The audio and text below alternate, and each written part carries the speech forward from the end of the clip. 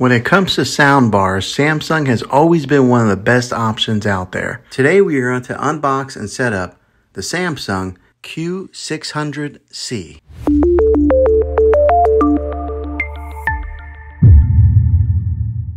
And on here you'll see where it's got the branding nameplate. There is a speaker with a soft covering right here. This is the back. It's got the big old hole here for the uh, subwoofer outlet. The power cord goes here, and then here is an ID set button that you push here to get it paired up with a soundbar. All right, so let's see what's inside the bag here. The bag full of goodies. So they give you the power cables for one for the subwoofer, one for the soundbar.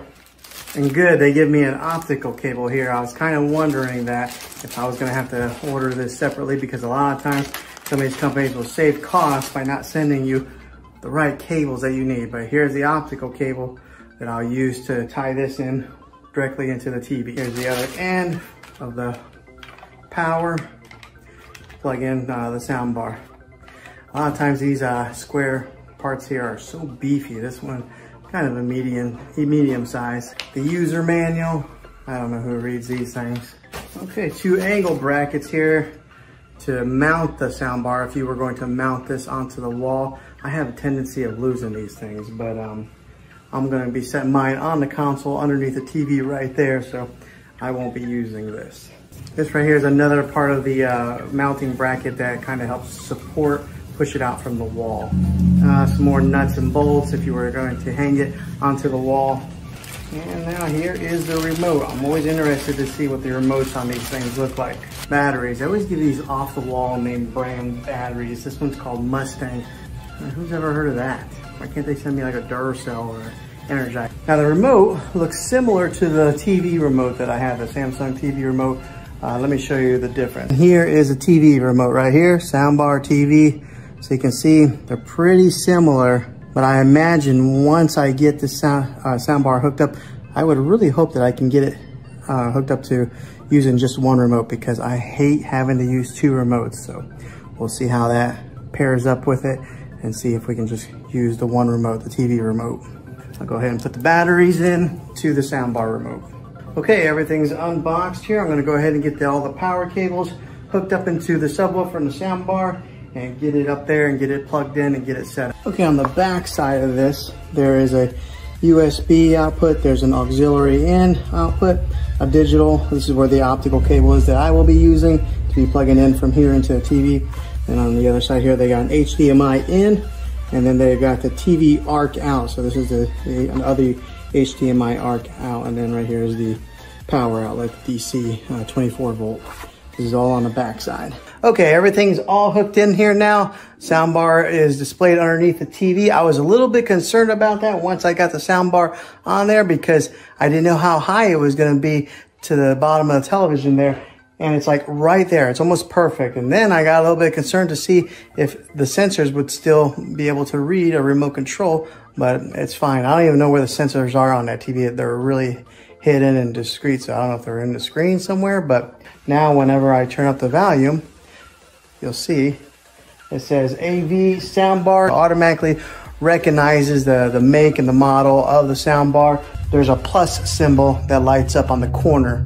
Uh, so it signifies on the soundbar and it signifies on the television. Okay, the subwoofer is connected to the soundbar. Let me tell you, I've never experienced such an easier setup process than this right here. The way this works is once you plug in the subwoofer right here, it automatically connects to the soundbar right away. So that not you don't even need to push in the button on there to pair it. It automatically do that or did that. And one of the ways that you can tell if it is paired is on the back side of the subwoofer. You'll see that there's a blue light right there shining. So that means that it is connected. Another little bit of information. If it is blue, that it, that means that it is connected. If it's red, then that means that there's an issue in the setup process. And if it's blinking blue and red together, then that means there is a malfunction. So make sure you watch the indicator light, but I don't think you should have any problems if you're hooking this up.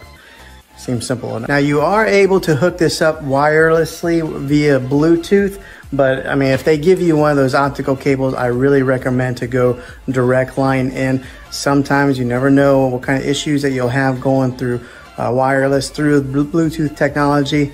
I know it's pretty solid, Bluetooth is, but if you can go wired in, definitely do that. So that's what I did, wired in. Okay, so the good thing is uh, we were able to use the TV remote for the soundbar and TV together, so I will only be using one remote. No need to have two different remotes, one to run a soundbar or one to run a TV. Everything will be accessed through this one right here. This is the TV remote, so I like that. Less remotes is better. Okay, so we're gonna do a little sound test to give you guys, uh, I know it's gonna be hard for you guys to really tell, uh, maybe, uh, depending on what kind of sound system that you have, if it's coming through your computers. But I'll give you guys a little test of what it's gonna sound like. And uh, I just did a little trial run. Let me tell you, it is a big difference between using a soundbar and just using the speakers on the TV. Um, it gets pretty loud without having to turn it up very far. So much so that my wife is sitting behind me and she started squinting her eyes like that because it was just getting kind of loud for her, but listen in.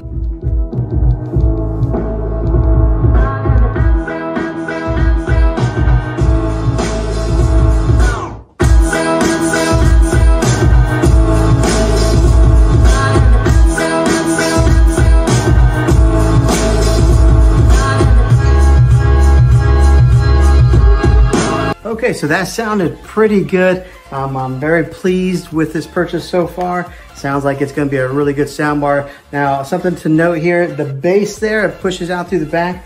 In my particular surroundings, I've got it on a cornered wall right here, but when it pushes out, it kind of travels up so we could hear the bass really well. I know everybody, everybody's environment is gonna be a little bit different.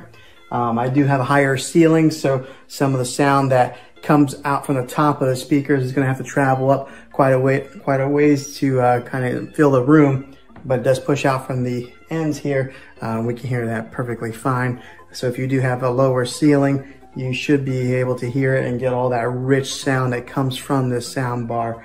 Um, but yeah, it's pretty easy to set up and it sounds fantastic. So well, hopefully this video was helpful to you.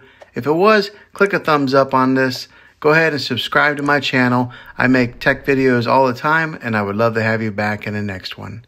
Take care.